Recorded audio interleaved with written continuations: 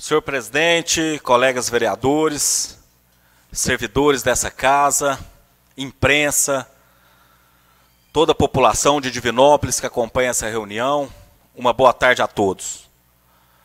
Senhor presidente, colegas vereadores, hoje eu quero iniciar minha fala falando em defesa da vida. Um projeto de minha autoria, junto com o vereador Wesley Jarbas, que está pautado para essa tarde. Está falando que não tem coro? Interrompeu? Ah, tem.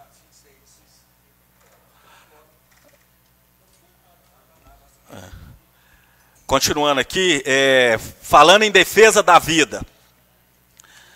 A lei número 9073 de 2022, de autoria do vereador Wesley Jarbas, fica instituído no calendário oficial do município de Divinópolis o Dia Municipal da Valorização da Vida do Nasciturno.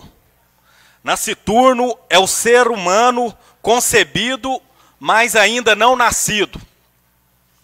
E nós alteramos a lei é, criamos um parágrafo único que fica: o Dia Municipal da Valorização da Vida do Nascituro terá como destaque a conscientização sobre os riscos do aborto. Colegas vereadores, é um assunto que tem que ser discutido. É cada vez mais comum a gente ver em cenário nacional discussões sobre o aborto, discussões avançadas a favor do aborto, e nós, como político, está cada vez mais tendo que posicionar, manifestar o lado. Eu, como cristão praticante, através desse projeto aqui, estou manifestando que sou a favor da vida, sou contra o aborto. E essa casa hoje, nós vamos discutir esse projeto. A gente está alertando aqui sobre avanços de discussões sobre o aborto, e esse projeto vem blindar possíveis é, discussões a favor do aborto aqui nessa casa. Então, na hora da discussão do projeto, eu quero falar mais sobre esse projeto e já adiantar e pedir o voto favorável dos colegas vereadores para que possamos aprovar e conscientizar as pessoas nesse dia 8 de outubro sobre os riscos do aborto o mal que o aborto traz, a depressão, a mulher e o feto também. Então, é um projeto que eu conto com os vereadores aqui para a gente aprovar nessa casa hoje e blindar de uma vez por todas esse assunto aqui nessa casa. Senhor presidente, colegas vereadores, sexta-feira e na segunda-feira também estive em algumas escolas municipais do nosso município e aqui eu quero chamar a atenção do Dorel para o registro que nós tivemos lá na escola Professor Bahia, com o diretor o Alisson, que nos trouxe essa demanda relatando a dificuldade que os alunos ali, mais de 300 alunos, a escola não tem um refeitório para que as crianças e adolescentes possam ir no refeitório merendar. Então nós levamos essa demanda junto ao senador Cleitinho e nós tivemos lá, foi na sexta-feira à noite, foi o horário que o senador achou de ir lá. Ele fez questão de ir no local quando eu relatei a situação da escola Professor Bahia, né? E nós já subimos hoje, ontem, na segunda-feira, na prefeitura, e o Cleitinho está destinando uma emenda de 245 mil reais a meu pedido, ao pedido do diretor Alisson para a construção do refeitório. E é igual o Alisson falou, gente. O refeitório é um local de socialização. É o momento que os alunos ali que estão tá acostumados só entre as salas, encontrar outros alunos, poder conversar, pegar a fila para merendar ali, conversando com alunos de outra sala. Isso é socialização.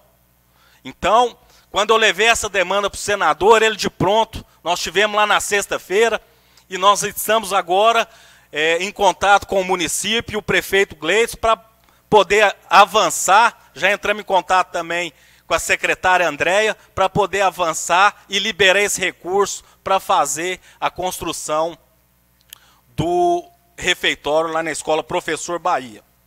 E estivemos também na escola municipal Bom Pastor.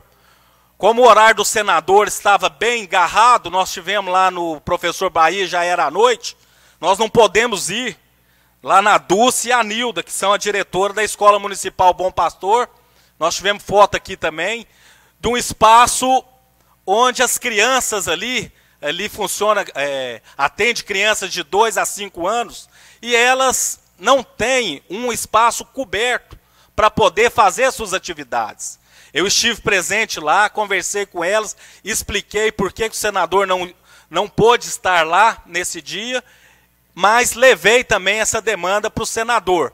Já solicitamos da Secretaria de Educação o projeto para fazer o orçamento dessa cobertura para poder indicar o recurso também e atender essas crianças da Escola Municipal do bairro Bom Pastor. Gente, eu estive no local e pude ver as crianças fazendo atividades a céu aberto.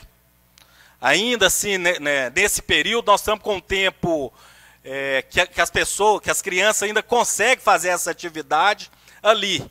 Mas ela nos relatou em período chuvoso, em período que o sol está muito quente, que não consegue tirar as crianças da sala de aula para poder fazer as atividades, que é de suma importância nessa idade. Atividades pedagógicas que contribuem né, com o ensinamento dessas crianças.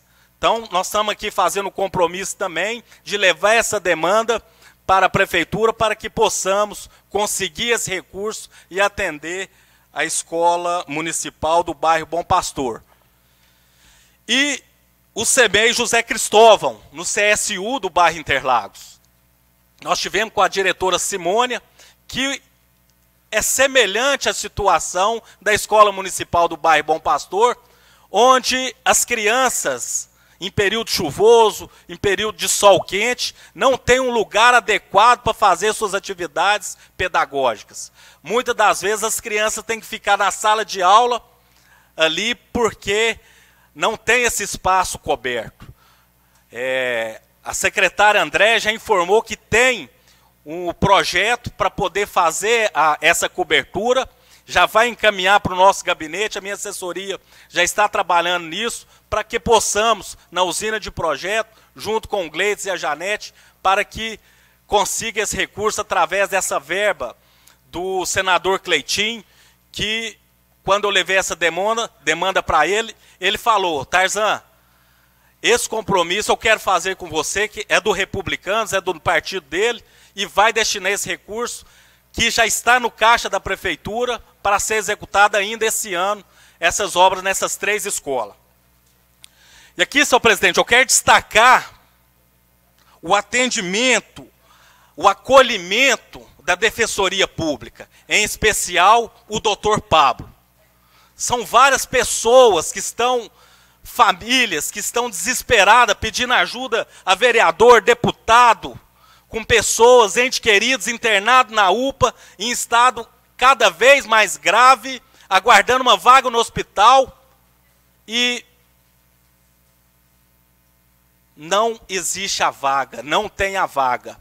Nesse sentido, eu estive ontem lá na Defensoria Pública com alguns familiares que me mostrou a evolução de pacientes na UPA, que na sexta-feira tinha um relatório, no sábado um relatório agravado, que ainda pedindo clínica médica, e na segunda-feira um relatório falando com risco de morte.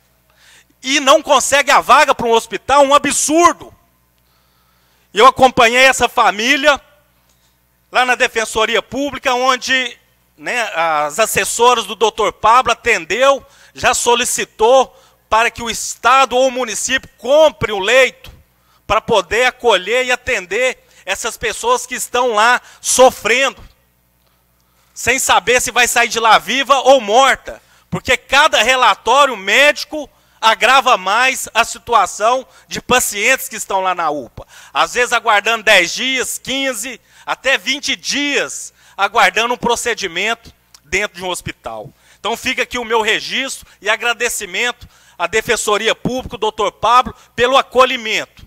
Porque naquele momento até o telefone particular do doutor Pablo foi oferecido para a família para acompanhar o processo né, e entrar em contato com ele cada passo que for acontecendo ali dentro da UPA. Então é importante aqui a gente registrar e agradecer, porque nesse momento as pessoas estão buscando medidas judiciais para obter o seu direito. Um absurdo, fica aqui a nossa reclamação, o nosso repúdio ao caso que está virando a saúde aqui do nosso município.